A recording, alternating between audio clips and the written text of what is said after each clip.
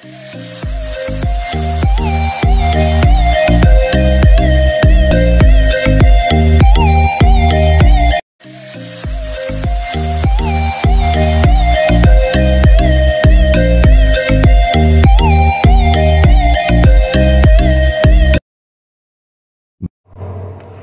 Morning મિત્રો. હું વૈષ્ણવ હિનાબેન. ઓમ શાંતિ વિદ્યાલયના ડિજિટલ ક્લાસમાં આપ સૌનું હાર્દિક સ્વાગત છે. ધોરણ પાંચ, જેમાં ગુજરાત. આજે આપણે પાઠ્યપુસ્તકના પાઠ નવ કદરનું સ્વાદે પૂરીશું. તેના લેખક છે દોલત ભટ્ટ. તો આપ સૌ વિદ્યાર્થી મિત્રો, નોટ અને પેન અને પાઠ્યપુસ્તક સાથે રાખી સ્વાદે પૂરશો.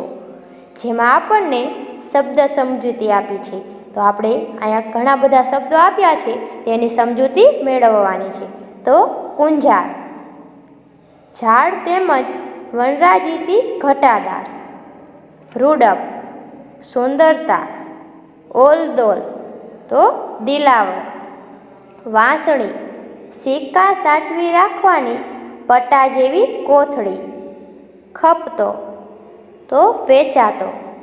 વારખરથી મુસાફરી દરમિયાન ખર્ચવાની રકમ, જાતવંત, ઊંચી ખાનદાન ઓલાદનું, વેગળું, જુદું કે અલગ, પાણી પંથા, પૂરના પાણીની ઝડપે દોડનાર. કાઉસમાં આપણને ઘોડો આપ્યો છે, કાઉસ પૂરો. રાગવાણી, સવારી કરી, ખોરાકી, જીવન જરૂરિયાતની વસ્તુ ફિરસ્તો, દેવદૂત કે પેગંબર, ઝંઝાળી તો બંદૂક જોગાડ ઘોડા, બળદ વગેરેને ખાવાનું અનાજ, ખાણ, ભલી ભાતીય, સારી રીતે બોકાસા રાડ કે બૂમ, ટાપ તો ફોજ, મસ તો લાચારી, ખેસ, ખભે નાખવાનું વસ્ત્ર વાદ ચામડીની દોરી, ધણ, તો ટોળું, ઝણ, ઝીણી રચકણ સાફો, તો ફેટો, બાર, તો દિશા કળાવું દેખાવ, વાસીદું, ઢોરના છાણ સાથેનો કચરો, ફરમાન, આદેશ કે હુકમ, ગનો, ગુનો કે વાંક ભેર મદદ સહાય. કસવાળું કેળિયું. કાઉન્સમાં આપણને આપ્યું છે. બટનને બદલે વપરાતી. કાઉન્સ પૂરો. દોરીવાળું અંગરખું. ઉપાધિ. તો ચિંતા. તારીફ. વખાણ કે પ્રશંસા. સુબો ઇલાકા કે પ્રાંતનો સુબેદાર લેખ. તો કરાર કે દસ્તાવેજ. યાવચંદ્ર દિવાકરો સૂર્ય અને ચંદ્ર હોય ત્યાં સુધી. બક્ષિસ તો ભેટ, માન મરતબો તો માન મોભો. હવે રૂઢિપ્રયોગો. આપણે આ ઘણા બધા રૂઢિપ્રયોગો આપ્યા છે, જે આપણે સમજવાના છે. ઉડીને આંખે વળગવું તરત ધ્યાન પર આવવું, મીટ માંડવી, નજર સ્થિર કરી જોઈ રહેવું, મન ઠરવું સંતોષ થવો કે ગમી જવું? રામ રામ કરવા. વિદાય લેવી. કાન સોરીને દાઢે ચડાવવું. સતર્ક થઈ જવું. ઘોડાને ઘેર હોવું. ખૂબ નજીક હોવું. મન ઉઠી જવું. અભાવ આવવો કે રસ ન રહેવો. નજર ધ્રોબવી. નજરથી નજર મેળવવી. મિજાજ તરડાવો. અભિમાન થવું. ફાટી આંખે જોઈ રહેવું. અચંબા કે વિસ્મય સાથે જોવું. આંખ કરડી જવી. ગુસ્સાથી આંખ લાલ થવી. પડ્યો બોલ ઝીલવો. આજ્ઞાનું પાલન કરવું. માથે ચારેય હાથ ધોવા. રહેમ દ્રષ્ટિ હોવી. અહીંયા આપણને ભાષા સજ્જતા આપી છે. જેમાં નીચેના વાક્યો વાંચો. અહીંયા વાક્યો આપ્યા છે તે હું વાંચીશ. તમે શાંતિથી સાંભળજો. એની રૂડપ ઉડીને આંખે વળગે એવી. વડોદરાને વેગળું મૂકવા પગ ઉપાડ્યા. ત્રીજું, જગદંબા તમારી ભેર કરે. તો આ વાક્યોમાંના રૂડપ વેગળું, ભેર વગેરે શબ્દો લોકબોલીના છે. લોકબોલીના આ શબ્દોને તળપદા શબ્દો કહેવાય. આ બીજા શબ્દો પાઠમાંથી શોધીને લખો. બીજું, બીજા કેટલાક ભાષા પ્રયોગો નોંધો. તો પહેલું ગરણી ગામ તો ખોબા જેવડું જાયદી ખજૂરની પેશી જેવો વાન. મૂળાના પતિકા જેવા પાંચસો રૂપિયા. હવે આપણને અહીંયા સ્વાધ્યાય આપ્યું સ્વાધ્યાય આપ્યું છે, જે આપણે આપણી પાઠ્યપુસ્તકમાં પૂરવાનું છે. તો પહેલો પ્રશ્ન, નીચેના દરેક પ્રશ્નનો ઉત્તર એક એક વાક્યમાં લખો. તો પ્રશ્ન પહેલો વાલો કેસરીયો કોણ હતો? તો લખો જવાબ. વાલો કેસરીયો ગરમી ગામનો ચારણ હતો. બીજો પ્રશ્ન. વાલો કેસરીયો શેનો વેપારી હતો? તો લખો જવાબ. વાલો કેસરીયો ઘોડા લેવા વેચવાનો ધંધો કરનાર વેપારી હતો. ત્રીજો પ્રશ્ન. મરાઠા યુવાન માથે કઈ આફત આવી હતી? તો લખો જવાબ. મરાઠા યુવાનને માથે લેણદારની ટાપની આફત આવી હતી. પ્રશ્ન ચોથો. વાટ ખર્ચી કાઢવા કેસરિયાએ શું વેચ્યું? તો લખો જવાબ. કેસરિયાએ એક ઘોડો વેચી નાખ્યો. પ્રશ્ન પાંચમો. વાલા કેસરિયાની કદર કોણે કરી? તો લખો જવાબ. અમરેલીના સુબા રાઘાબાએ કરી. પ્રશ્ન બીજો. નીચેના પ્રશ્નોના ઉત્તર લખો, જે તમારે વિદ્યાર્થી મિત્રો આ હોમવર્કમાં લખવાના છે. પહેલો પ્રશ્ન. કેસરિયાએ વડોદરાને રામ રામ કરવાનું શા માટે વિચાર્યું? બીજો પ્રશ્ન. વાલો કેસરીયો ઘોડાની લગામ તાણી શા માટે ઊભો રહી ગયો? ત્રીજો પ્રશ્ન. રાઘોભાઈએ કેસરિયાની કદર કેવી રીતે કરી? આ ત્રણ પ્રશ્નો તમારે હોમવર્કમાં લખીને આવવાના છે. પ્રશ્ન ત્રીજો. નીચેના વાક્યો કોણ બોલે છે અને કોને કહે છે તે લખો. પહેલો પ્રશ્ન. શેઠ કેટલા રૂપિયાનું લેણું? આંકડો બોલો.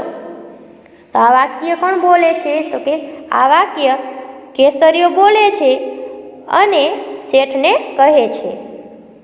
બીજું, ભાઈ, તારો માર્ગ તારી રાહ જોવે છે. હાલ તો થા. આ વાક્ય કોણ બોલે છે? તો કે આ વાક્ય શેઠ બોલે છે અને કેસરિયાને કહે છે. ત્રીજું, અરે બાપ કાંક ભૂલ થતી લાગે છે. હું તો ઘોડાનો સોદાગર. આ વાક્ય કોણ બોલે છે? તો કે આ વાક્ય કેસરીઓ બોલે છે અને રાજાના સિપાહીને કહે છે. ચોથું, તમારું નામ ઠામ. ન આપો તો તમને મારા છોકરાના સમ છે. આ વાક્ય કોણ બોલે છે? તો કે આ વાક્ય જુવાન મરાઠો બોલે છે અને કેસરિયાને કહે છે. પાંચમું જગદંબા તમારી ભેર કરે. આ વાક્ય કોણ બોલે છે?